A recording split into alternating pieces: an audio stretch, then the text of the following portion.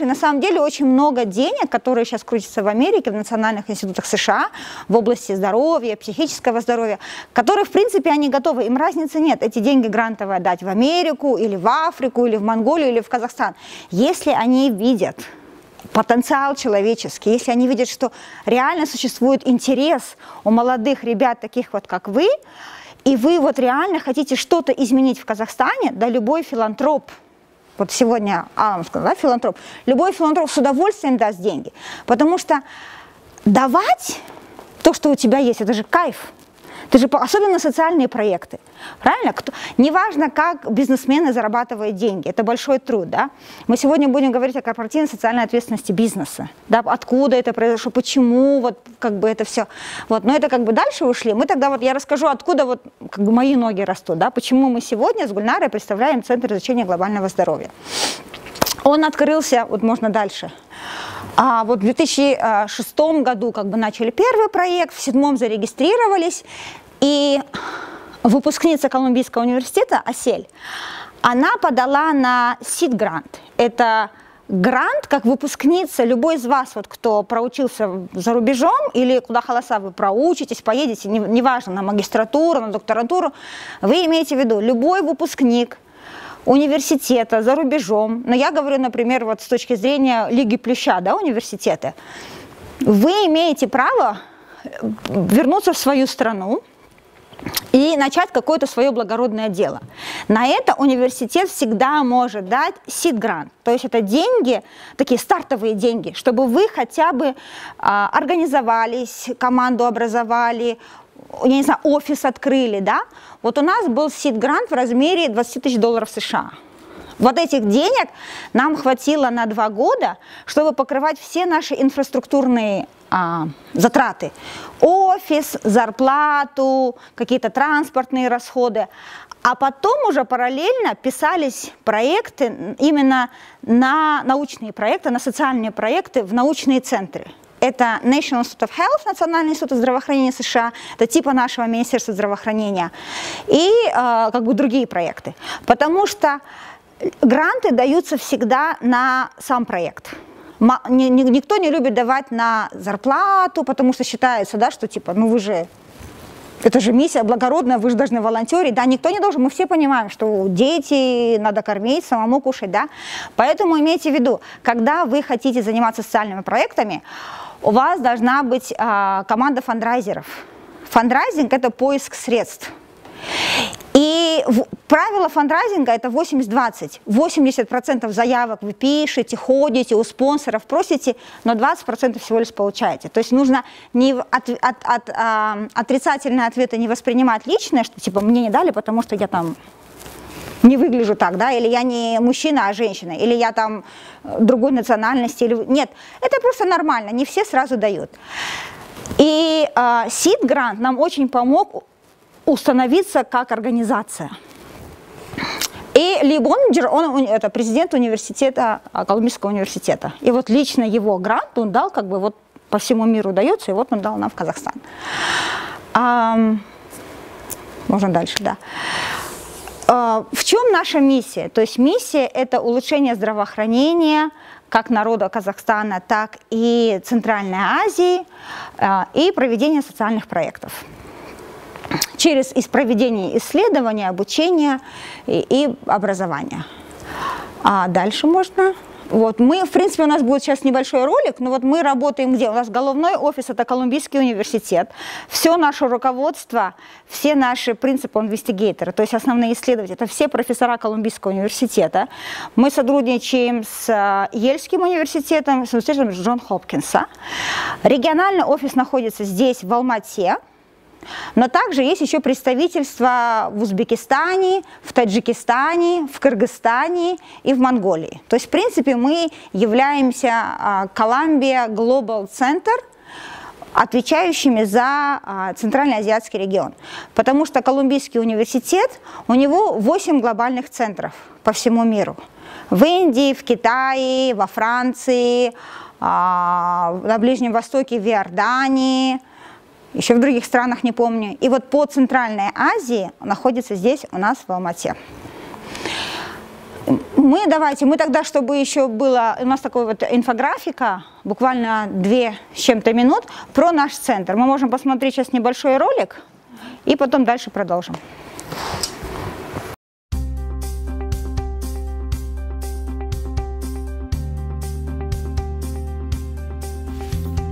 ВИЧ, СПИД, туберкулез, гепатиты, инфекции, передающиеся половым путем, потребление алкоголя, наркотиков и табакокурения, хронические неинфекционные заболевания.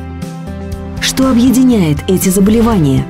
Все они связаны с проблемами глобального здоровья – Глобальное здравоохранение подразумевает изучение, исследование и практическую работу, направленную на обеспечение равного доступа и качества здравоохранения для всех, включая уязвимые группы населения. В 2007 году исследователи Колумбийского университета создали Центр изучения глобального здоровья в Центральной Азии, который уже на протяжении 10 лет занимается проблемами изучения социально значимых заболеваний в Казахстане и странах Центральной Азии.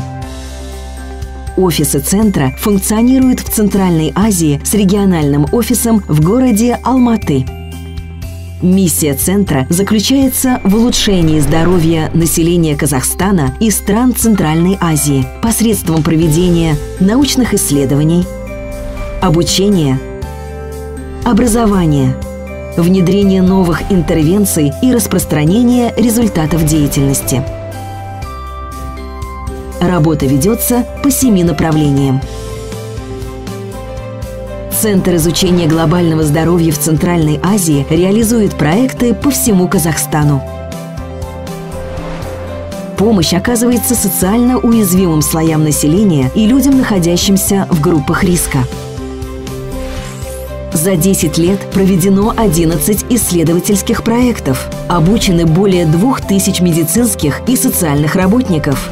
В программах Центра задействовано более 10 тысяч взрослых и детей – произведены обмены более 100 студентами и преподавателями из США и Казахстана. Проведены международные конференции и учебные курсы по социальным и глобальным проблемам здоровья. Центр является ведущей организацией в регионе по публикациям в международных журналах с высоким индексом цитирования. Центр имеет одни из лучших международных показателей значимости научной продукции в Казахстане и Центральной Азии – Центр тесно сотрудничает с местными и международными государственными, учебными и общественными организациями в Казахстане и странах Центральной Азии. Центр благодарен партнерам за плодотворное сотрудничество, а донорам за поддержку. Центр изучения глобального здоровья в Центральной Азии. Изучая настоящее, улучшаем будущее. Вот из-за того, что вот направление деятельности у нас это социально значимые заболевания, соци... предоставление социальных услуг, алкоголизм, наркопотребление, ментальное, психическое здоровье, миграция, социальная работа, насилие, да, и вот а, поэтому следующий слайд, а, наши бенефициары, ладно, не по слайдам, окей, наши бенефициары являются люди с ВИЧ-инфекцией, то есть мы их называем ЛЖВ, люди, живущие с ВИЧ-инфекцией, с туберкулезом, с гепатитами. Это э, потребители инъекционных или неинъекционных наркотиков. Это э, МСМ, мужчины, практикующие секс с мужчинами, это секс-работницы, это женщины, которые оказывают секс-услуги за выживание. Это молодежь группы риска, подростки, а в основном это там первая Алмата, которые уже в 15 лет уже и курили, и нюхали, и а, родители у них, например, сидят, отсидевшие, и уже совершили несколько преступлений, которые стоят на учете ВВД. Это люди, которые находятся в заключении или вышедшие из мест лишения свободы. То есть это, мы их называем уязвимые. Это самые уязвимые группы населения, или еще, как ООН называет, это ключевые группы населения, в которых сконцентрирована вся инфекция. Это ВИЧ-инфекция, это наркопотребление. А? Социального характера, да. И вот если раньше, э, как бы вот, может быть, 10 лет назад или 15 лет назад, если бы у меня спросили, как выглядит вот наркопотребитель, Я тогда думала, наркоман или ВИЧ-инфицированный, или человек, у которого спит, его сразу видно. Он страшный, там, худой, беззубый или такой какой-нибудь бомж. Вы знаете, а, ВИЧ-инфекция, вы знаете, вот на примере чемкенских детей, да, которых заразили, ВИЧ-инфекция – это а, любой человек может заразиться а, во время полового акта, если он не предохраняется. Гепатит можно подхватить даже у стоматолога во время полового, небезопасного полового акта или девочки, мы все ходим маникюр, педикюр делаем, да, то есть на самом деле никто из нас не застрахован. И те секс-работницы или их как бы э, женщины, которые оказывают секс-услуги на выживание, когда мы с ними работаем, никто из них в детстве не хотел заниматься э, проституцией, да, все, не, все хотели быть принцессами, где-то там жить, хорошо все, но так складываются жизненные условия, что, к сожалению, они оказываются в таких ситуациях. Государство у государства нет денег на них и нету приоритетов. Поэтому наш центр работает с таким именно населением, с уязвимым населением. Мы а, привозим ноу-хау из Америки и про проводим социальные проекты, как изменить их поведение, чтобы они изменились в лучшую сторону. И э, вот именно вот такие социальные проекты мы проводим. Например, вот у нас есть пяти, у нас все большие пятилетние проекты. Один проект НОВА, который мы работаем с женщинами, с работницами и предоставляем им услуги по микрофинансированию. Учим их получить другую профессию чтобы они бросили свою секс-работу. Это парикмахеры, визажисты, кройки и шитья, такой как бы basic skills, да, там трех-четырехмесячные курсы, чтобы она научилась, все, она потихонечку выходит, потому что ей перед родственниками тоже хочется сказать, да, я, я парикмахер, да, я визажист. Она же никому не признается, скажет, я занимаюсь секс-работой, да. Второй проект, это мы работаем с наркопотребителями, те люди, которые употребляют наркотики. От наркотиков, к сожалению, тоже никто не сбережен, да, потому что мы все читаем по WhatsApp, что в школах предлагают спайси, э, в ночных клубах можно там что-то выпить, понюхать, все. И, к сожалению, из-за того, что наркобизнес, который проходит через Таджикистан, с Афганистана через Таджикистан, он ужесточен, героиновых наркотиков практически нету, вся идет синтетика с России. Если мы сейчас работаем с наркопотребителями, которые 20, со стажем 30 лет употребления героина, они нормальные, они живут, двигаются, ну, руки страшные, да, нельзя на них руки смотреть, ноги страшные, там, да, как бы, но они, в принципе, говорят, они существуют, и внешне вы не определите. Если человек вам не покажет свои вены, а мужчина не покажет пах, куда они колят, вы в жизни не определите, что он наркоман с ВИЧ-инфекцией не определить. Я вам могу 5 сейчас привести наркопотребителям с ВИЧ-положительным статусом. Вы не потому что, в принципе, сейчас антиретровирусная терапия, она бесплатная в Казахстане, люди лечатся, принимают препараты, и, в принципе, они поддерживают свой иммунный статус. А... Мусор потеряла. Да, правильно, спасибо. К сожалению, синтетические наркотики, все, вот если вы читали крокодил, потом что пишут везде на всех школах? Скорость, да, она вся доступная. Все, наркологи ничего не могут сделать. Человек, который попробовал скорость, максимум 3-4 месяца. Все, он потом как деградирует, страшно. А подсовывают же в основном где-нибудь в клубе подсунут, продадут бесплатно, бесплатно дадут, да. Вот. Поэтому никто не застрахован от этого, и Клайс Ахтасан любой может оказаться. И поэтому эти люди, у них тоже есть семьи, родители, и они должны как бы а, они имеют право, чтобы жить и надеяться на лучшее. Вот наши проекты направлены на такую группу населения. И третий проект, Юни большой, это вовлечение мужчин, практикующих секс с мужчинами, в непрерывное лечение, тестируем на ВИЧ-инфекцию. Вы сами понимаете, ввиду биологических особенностей, у мужчин, практикующих секс с мужчинами, ВИЧ-инфекция вероятность заразиться намного быстрее, чем между мужчиной и женщиной. И э, эта тема, э, нам не нужно а, этого стесняться или говорить, ой, бай, я такого у нас нет, а такое у нас есть. В Казахстане есть все, это открыто, это доступно, и поэтому надо просто это осознать, и с, с этим вот мы работаем. Четвертый проект мы только получили, единственные в Казахстане во всей Центральной Азии наша организация, которую получили а, грант от фонда на Элтона Джона по борьбе со СПИДом. Может быть, даже он приедет к нам. Вот. И мы тоже будем работать именно вот с группой населения по а, самотестированию на ВИЧ. У нас, как сказал Шелпан, в данный момент мы, наш центр реализует три исследовательских, крупных исследовательских проекта, и э, недавно мы получили еще один грант, э, то есть теперь у нас их четыре. Проекты у нас крупные, ведут неск... ведутся в нескольких городах Казахстана, непосредственно проект, в котором я работаю. Мы работаем в Шимкенте, а наш полевой офис, у нас полевой офис есть в Астане и здесь в Алматы. Полевой офис это куда непосредственно приходят э, бенефициары наших, э, наших проектов. Да? Так вот, как же э, такие центры, как наш, о котором э, сегодня вам э, рассказала Шолпан, могут сотрудничать с бизнесом? Конечно же, многие из вас слышали такое слово, как э, корпоративный такой э, термин, да, который часто, наверное, используется в бизнесе, это корпоративная социальная ответственность. Вот если мы вспомним, что, э, что такое корпоративная социальная ответственность, то она, в принципе, а, делится на две составляющие. Первое – это все а, компании, бизнес-компании должны выполнять а, социальные свои обязательства, предписываемым законом, и то, что они, в принципе, не выполнять не могут. Например, они обязаны платить пенсионные отчисления. То есть, если они это делать не будут, у них будут серьезные проблемы. Это тоже часть корпоративной социальной ответственности. Они же за это не получают деньги. Или же, например, какие-то эм, социальные есть налог, да, э, там определенный, который он, он небольшой, но все равно его должен. А есть еще э, там если компания захочет, да, э, нет, то что, то, что она должна, это первая составляющая, это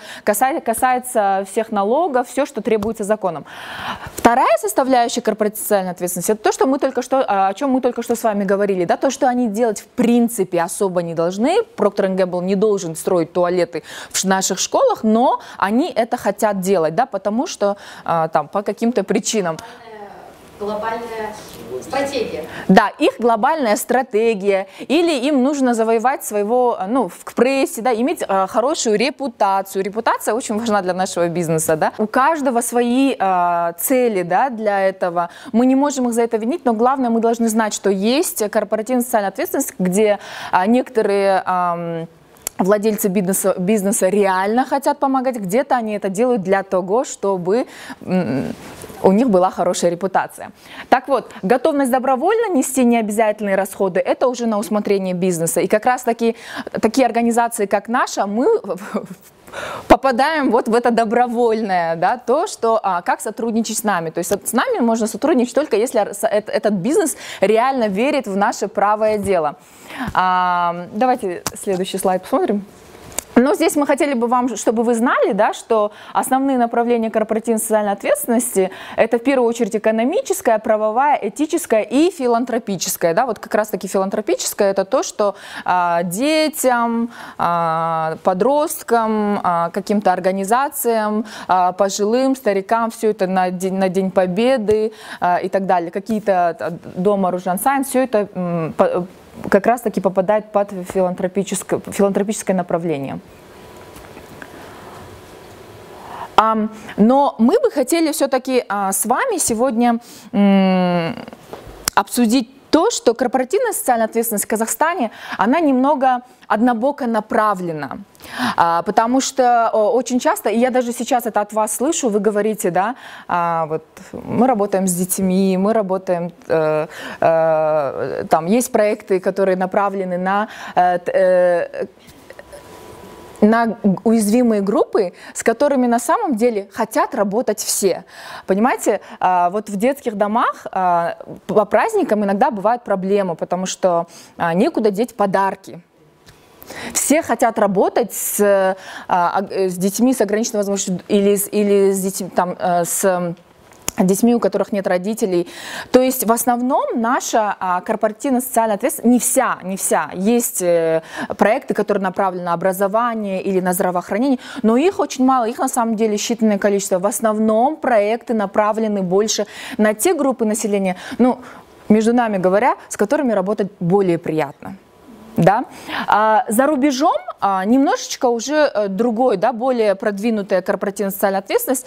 Там уже а, компании, ну мы некоторые привели, там на самом деле было очень много примеров того, как а, компании реализуют свою корпоративную социальную ответственность. Например, BMW, да, вот что они делают? Они образовательные программы, повышая, повышающий уровень осведомленности социальных и экологических угрозах, вопросах безопасности дорожного движения, проблемах лечения ВИЧ-позитивных пациентов и активно взаимодействуют с подрастающим поколением, призывая их к бережному отношению окружающей среды. Понимаете, такие программы, которые направлены на долгосрочные на долгосрочную пользу всему обществу, да. Наши же хотят, вот, дал денег, сразу ты что-то получил из этого, какую ты видишь, что дети стоят с подарками, фотографию сделал, ну или там финансово как-то помог, как сказала Шелпан, да, или in cash, или in, in kind, да. Но вот надо очень долгосрочное, у нас очень редко выделяют деньги, и поэтому, на самом деле, а, Шелпан, может, еще позже вам расскажет о нашем а, взаимодействии с бизнесом. Не все понимают вообще, чем мы занимаемся, и зачем, зачем нужно помогать вот каким-то, даже, наверное, вы до конца не понимаете, мы сейчас вам еще а, поможем сделать э, связь между тем, почему важно, чтобы такие организации, как мы, тоже а, работали с уязвимыми группами. Ну вот Лего, например, да, всем известная крупнейшая компания Лего, если вы, у вас есть маленькие, не знаю, братишки, сестренки, дети, вы знаете, что а, а, многие дети без ума от, этой, от этих игрушек, является одним из мировых лидеров в сфере корпоративной социальной ответственности. К примеру, огромные средства выделяются на поиск и создание экологически чистых материалов, да, тоже очень важно, чтобы наши дети и все мы а, пользовались экологически чистыми материалами. Также Lego Group э, занимается снижением воздействия производственных мощностей и продукции на окружающую среду. То есть у них действительно настоящие исследования идут, они хотят понять, а, как лучше производить продукцию, которая будет менее более безопасно. Ну и еще один пример, это вот такая компания, как Chipotle. Chipotle – это э, сеть ресторанов в Америке, а, Интермарше – это сеть э, крупных э, супермаркетов во Франции. Они объединились, и они решили вместе бороться с нерациональным использованием природных ресурсов на планете, выступив против увеличения объема пищевых отходов с помощью компании «Бесславные продукты и овощи». В общем, исследования показали, что в супермаркетах 30% овощей и фруктов, которые не очень хорошо хорошо выглядят, а, они, а, их никто не покупает. Они э, уходят на waste. Отходы.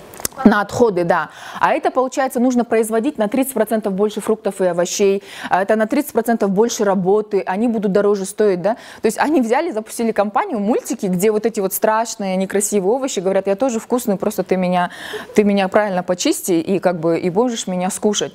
Ну, кажется, вот ну, где тут связь, да, как, как бы на самом деле, зачем им это надо, да, а они считают это важным, потому что в долгосрочном плане это очень, а, ну, принесет много пользу, как окружающей среде, так и, так и э, людям, да, которые смогут покупать продукцию немного дешевле, нежели постоянно нужно привозить красивые, э, красивые фрукты, да, и овощи. Ну, вот тоже интересный подход корпоративной социальной ответственности. Мы только три примера выбрали, на самом деле там куча, куча примеров.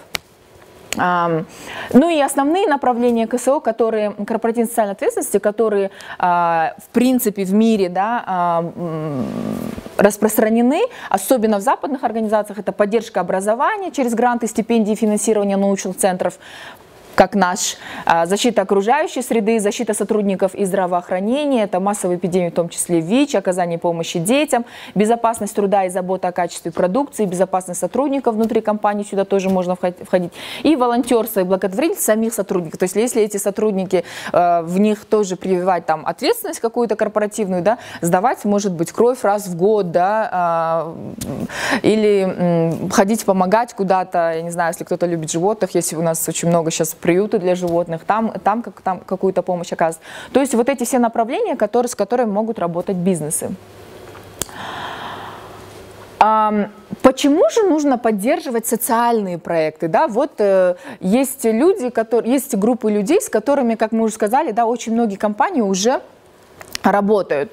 Но почему нужно а, поддерживать социальный, не просто социальный проект, а социальный проект, который, как мы, работают с особо уязвимыми группами, да? Ну, подумаешь, вот он, например, а, условно, постзаключенный, Ну почему там я должен ему помогать? Пусть он или она сам да, справляется с своими. Или человек, э, потребитель наркотиков, да, как вот Шолпан тоже сегодня не раз приводила пример, да, ну зачем, это же может быть его выбор, ну или может быть э, там он такой э, лоботряс, не хочет работать, да, и так далее. Вот где вот эта связь? Зачем э, нужно тратить большие деньги, а наши проекты, они очень... Э, крупные, а, чтобы а, поменять поведение этих людей. Наша задача вообще социаль... задача социальных проектов, соци... как наша социальная работа, мы э, что-то вроде вот сетки, да, если человек попал в трудную ситуацию, мы его такие соцработники бежим или или да наши, мы его ловим туда, мы в этой сетке его держим, мы ему помогаем, даем ему какие-то ресурсы,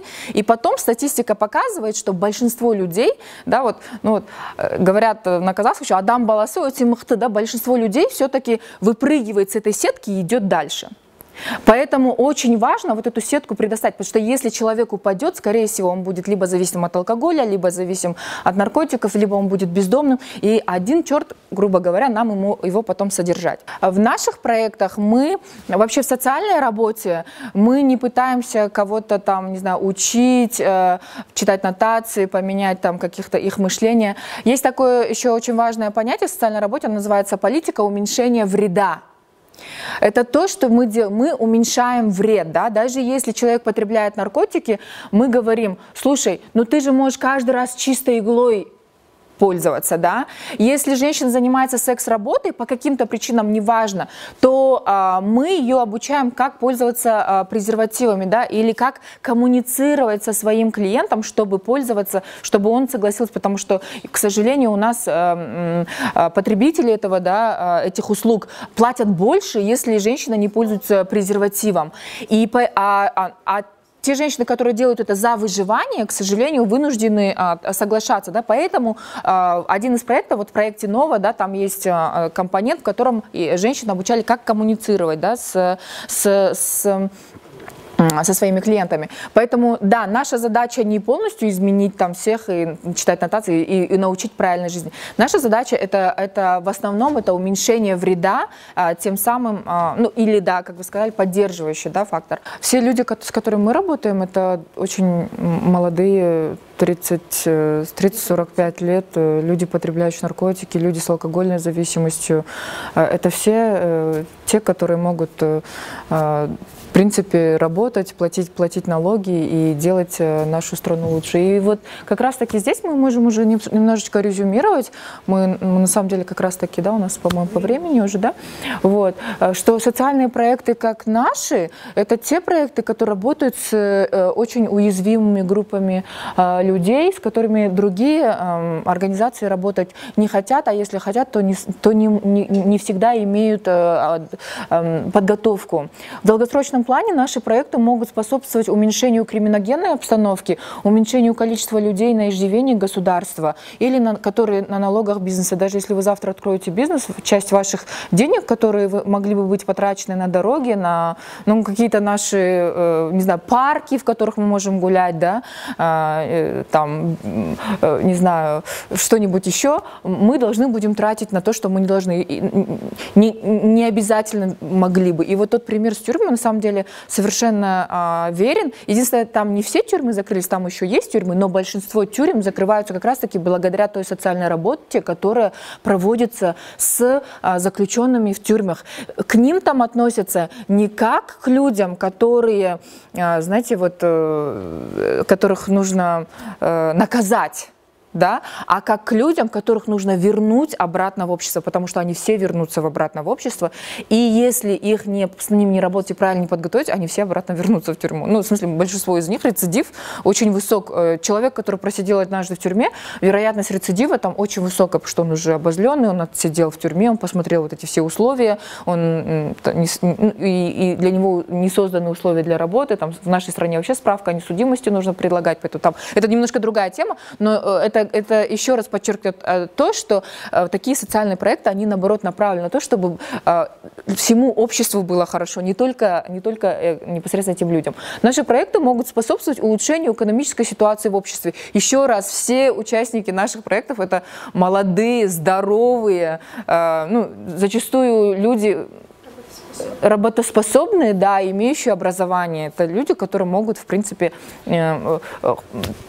улучшать экономику нашей страны. Наши проекты могут способствовать повышению покупательской способности населения. Даже если у вас бизнес, да, вам не выгодно, чтобы в нашей стране было много людей, которые не могут купить ваши продукты. Да? То есть человек, который работает, у него есть деньги, которые он может потратить. Если вы производите те же самые, не знаю, футболки, кружки, что бы вы ни производили, да, у вас какой-то стартап, IT-технологии какие-то, вам выгоднее, чтобы в нашей стране жили, жило намного больше людей, которые могут купить вашу продукцию. Опять-таки, возвращаясь к вашему э, вот ответу, да, что мы не можем жить в вакууме, мы должны а, в любом случае думать о том, как создать, как создать свое же общество, да, более благоприятные, более благоприятные условия в своем же обществе. Ну и вот то, что опять-таки э, сказала а, Шулпан, мы ведем очень важную работу по сдерживанию эпидемии в концентрированной группе. Мы не работаем со всем населением, мы концентрированно работаем с одной ключевой группой и смотрим внутри этой ключевой группы, кстати, та, тот проект, в котором я работаю, еще внутри ключевой группы мы работаем с теми, кто потребляет наркотики и а, алкоголь. Да? То есть внутри группы еще более уязвимая группа, которая, с которой мы работаем. Соответственно, мы сейчас выявляем новые случаи ВИЧ, мы их прикрепляем к лечению а, и а, тем самым регулируем да, обстановку среди а, ВИЧ-инфицированных с ВИЧ-эпидемией в стране. Это те группы э, людей, с которыми, опять-таки, не все хотят работать, не все могут работать, а такие проекты, как наши, мы готовим специально людей, чтобы они а, могли предоставлять услуги, эффективные услуги для Э, для, для, для тех, кому на данный момент особенно тяжело. Поэтому э, сотрудничать бизнесу и таким организациям, как наша, нужно, необходимо. Если у вас есть сейчас или в будущем какие-то будут интересные проекты, мысли, идеи, э, если вы знаете э, каких-то людей, которые будут заинтересованы компании э, в таких идеях, как наши, пожалуйста, э, следующий слайд. Обращайтесь, звоните, пишите, обращайтесь за более подробной информацией. Вот, если вам нужны какие-то статьи, а, то, что уже готово, мы можем вам, в принципе, написать, да, вы можете, мы можем вам выслать. Вот. Просто хотелось бы тоже вот, вот с научным центром детской педиатрии э, провести там такой мини-семинар по тоже консультативной вашей работе то, чем вы занимаетесь, потому что этот центр ну, как бы связан с детьми и их родителями тоже. Ну, давайте обменяемся контактами, да.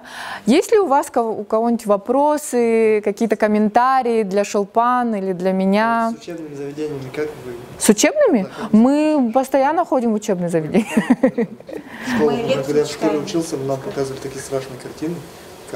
Мы ходим в учебное заведение, вот так э, коробки презервативов носим, раздаем бесплатно всем. Все стесняются, никто не берет. Да? Сегодня забыли для вас. Жалко. В следующий раз принесем. Э, Всем по пачке. В школу нам приходили, я просто не помню, какие люди это были, но я учился в школе, нам приходили, показывали картины такие страшные. Это не работает. Ну, на, на мне, например, сработало. А, да? Да. А, да. У нас, значит, работает, я была не права. Люди, которые с этим справились, полицейские, там, не знаю, в клубах, кто работает и так далее, они же тоже контакт имели с этими и употребляли это все. И они нам приходили, вот рассказывали постоянно. А, ну классно. поборолись с этим и так далее. Это запомнилось. Это запоминается, наверное, больше, когда человек живой здесь подходит и говорит. Да. Это называется peer-to-peer. Ага. А есть ли такие у вас люди, которые и которых можно да. и детям. А, можно вам вопрос? Как вы относитесь, вы затрагиваете тему постзаключенных, да? А, мой друг работал в H&M, в МИГе работает, и он сказал мне то, что там есть какая-то пропаганда поддержки э, гомосексуалистов. Э, Гомосексуалов. Да, да. Как сексуальных меньшинств, религиозных меньшинств, может, э, больных ВИЧем. Вот как вы относитесь, если бы э, постзаключенных Э, стимули, э, стимулировали, была бы стимуляция со стороны государства, чтобы принимать позаключенных на работу. Наоборот, э, у нас же наоборот, как вы сказали, это Двумя руками за. Конечно, а, постзаключенным нужно помогать. Более того, у нас не то, что не помогают, у нас делают препятствия. Вы знаете, что у нас э, требуют э, справку о несудимости. И это, это э, закрывает двери во многие организации для того, чтобы дальше уже продолжить какую-то... То есть на человеке пятно на всю оставшуюся жизнь. Вы Да. в свою организацию такого человека? Постзаключенного, если бы он а, был либо равный равному, у нас работают сотрудники, которые очень эффективно, в общем, как вот вы при- привели пример, да, а, работа, людям работать с теми, с ке- кем они сами когда-то являлись, да, например, если бы у нас был проект по тюрьмам, или будет, возможно, в полевых офисах, да, то есть мы не можем человека нанять только потому, что он постзаключен, но если он будет подходить по критериям, и у нас в других проектах работают люди с ВИЧ-инфекцией, люди, э, потребли- по- бывшие потребители наркотиков, С человеком, который потребляет наркотики, если я не наркопотребитель, я буду говорить, нельзя употреблять наркотики, брось, он скажет, иди, дорогая. А, А если будет сидеть такая, говорит, я, да, вот она говорит, вот я, вот мои вены, я кололась, и это реально. Можно сойти с колес. Я принимала вот это, вот это, вот это, видишь, что у меня волосы теперь не падают, все нормально. Тогда они слушают. У нас такого нет, да?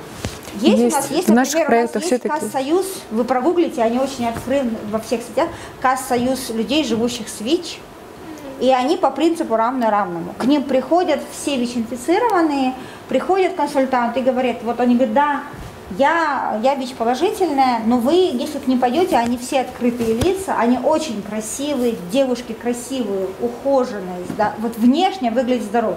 Единственное, у них есть ВИЧ-статус положительный. Вот. А, но, как я говорила, в Казахстане а, ВИЧ лечится, а, в смысле э, предоставляется терапия, люди пьют то же самое, как и от диабета пожизненно пьют лекарства, правильно? Гипертоники постоянно пьют лекарства. А, другие есть заболевания, где приходится людям пожизненно пить лекарства. Также и от ВИЧ-инфекции. Люди пожизненно пьют раз в день таблетку, и а, ВИЧ-положительные женщины могут уже рожать детей, здоровых. здоровых детей. Они все женятся, выходят замуж. И мы с Гульнарой смеемся, когда приходит по WhatsApp, игла, ты сел в кинотеатре, все. Команд, прогуглите в Википедию, да, ВИЧ, вирус ВИЧа не передается в воздухе. Как только из... Он передается только вот, или через сперму, или через кровь. Это или переливание, как чемкенских детей заразили, вот непосредственно переливают, или это половым актом. Все. Если он ВИЧ-инфицированный, вы можете целоваться, в одном бассейне плавать, с одной посудой есть. Даже если у него нечаянно пролилась кровь, все, Это она тоже. уже как кровь не заразна, как только она коммуницирует а, с воздухом, все, она, вирус умирает, он очень уязвим. Впечатляете? Да, не сравнить, например, с вирусом туберкулеза. Ой, да, с, с палочка Коха.